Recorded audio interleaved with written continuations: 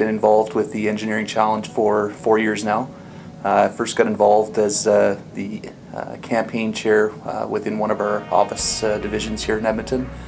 Um, that year I was a um, participant in the challenge um, and then in subsequent years uh, my involvement has, uh, has increased uh, to the point where I'm uh, now, uh, this year I'm the chair of the Engineering Challenge. I see it as a, a great opportunity for uh, the engineering companies within Edmonton to, to come together and do something constructive while still having the competitive side of the Engineering Challenge to, to benefit um, the Edmonton region. We've just moved to our new facility as of October of 2010. So as part of the renovation, uh, we wanted a playground for our children. Um, when we when we came to the place, it looked kind of like a prison yard.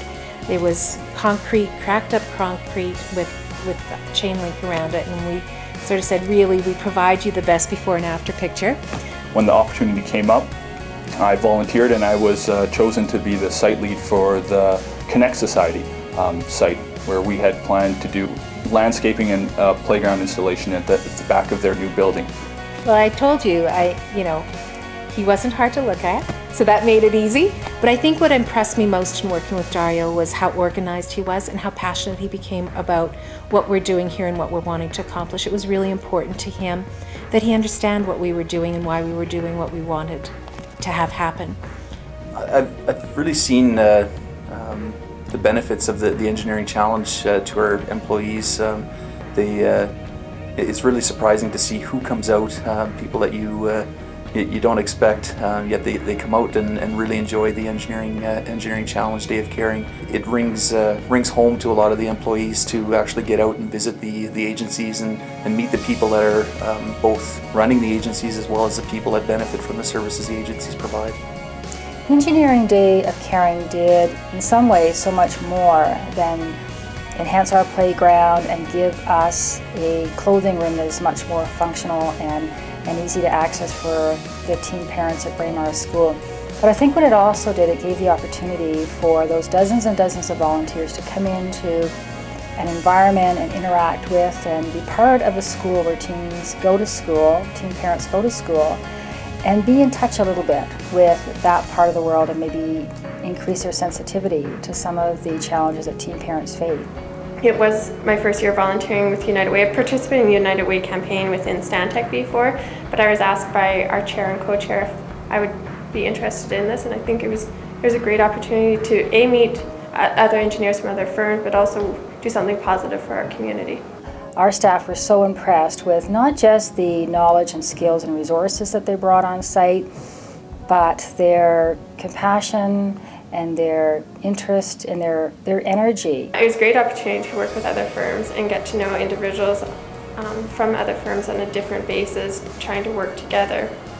None of us knew each other in the morning. We got together, we divided whether we were inside or outside, and the team that I was working with, we headed on inside and just started with our list of what we thought needed to be accomplished for the day. So it was great relationship building amongst other engineering firms as well.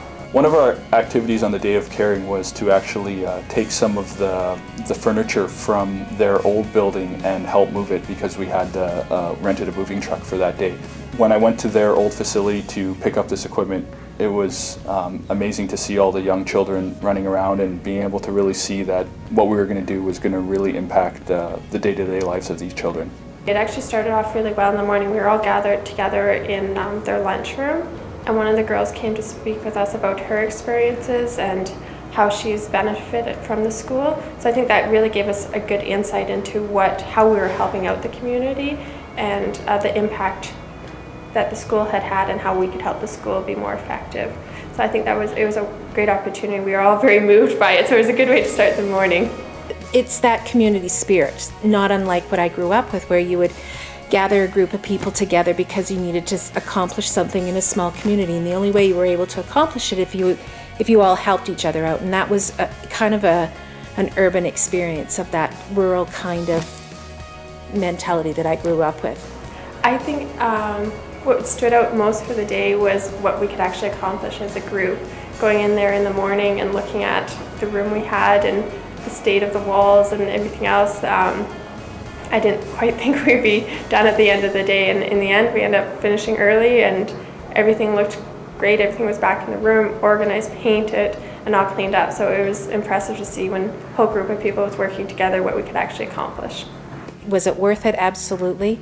Would I encourage other people to become involved? Absolutely.